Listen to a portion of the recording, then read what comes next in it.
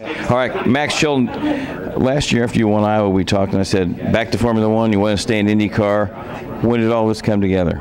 Um, pretty much the, the few weeks after that, I got contacted by every team by one, um, and it was then a matter of you know, which is amazing in the you know first place. In, in Formula One, that would never happen, and that's the thing that's enticed me into the American scene. It's so open, people want you, they're willing to help out with the sponsors, and so you know, the, the next few weeks, I got contacted by everyone. I then it was like a filter process throughout quite a few months. I got it down to two pretty quickly, um, but there was one I always wanted to be with, and that, that's you know Chip, and I managed to get that signed a few weeks ago. So it's great to be here.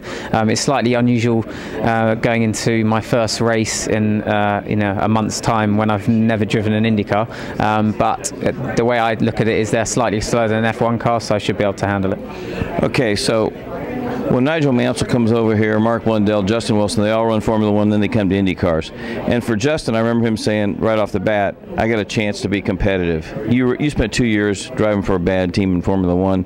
Is that the number one impetus to come over here? Is, is where talent, a good engineer can pay off? Yeah, um, that is a big part of it. It's it's difficult on the rank, on the way up to Formula One. You succeed, otherwise you wouldn't get there.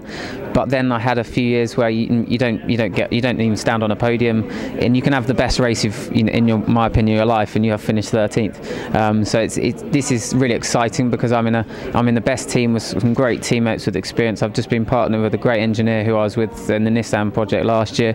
So it's all coming together really nicely, and it's nice knowing that you know it's down to me to get that podium. Like the car should be able to get the podium, and so I've I've got a you know I've got the chance of getting a podium or a win or maybe a championship. You never know. One of the daunting things is always for a Formula One driver or a road racer to come run ovals. You at Iowa last year in Indy Lights, and for Mansell, he was so good on ovals right away. It was unbelievable. Were you intimidated when you first got on oval, and then did, did you figure out pretty quick? Yeah, I'm. I still feel a little bit like that, and as I've been spoken to Dario, he said he was like that for a good few years.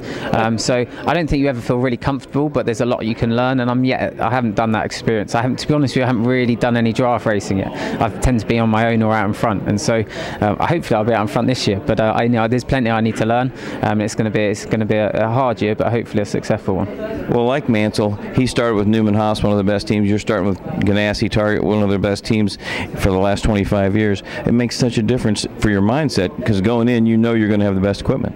Yeah, I, I you know, they're going to give me the best car. I have no questions. Obviously, there's a difference between the Honda and the Chevy. Um, I've put my faith in the Chevy. Honda, I think, have been testing pretty hard over the winter, but at the end of the day, that makes a few tenths difference. It's not like Formula One where you're four seconds different from the from the top cars. So, um, you know, as you said, I've got the chance. I've, it's down to me.